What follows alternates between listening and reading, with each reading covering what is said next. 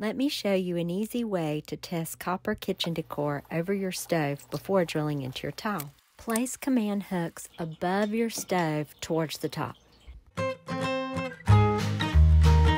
Hang a copper pan or pot from one of the hooks to test if it is a good fit for your kitchen decor. If you like how the copper looks, buy a few more pieces to complete the look. Okay, so what do you think? Should I go with the copper or without? Please comment below and let me know. And in a week, we'll decide which we're gonna do, and then we'll see what happens. Hope you're having a great day. See you soon.